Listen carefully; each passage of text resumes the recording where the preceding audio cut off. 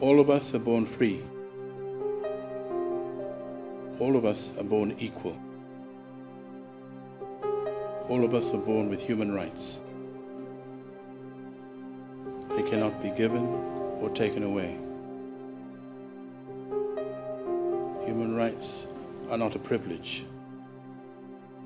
Human rights belong to every single one of us.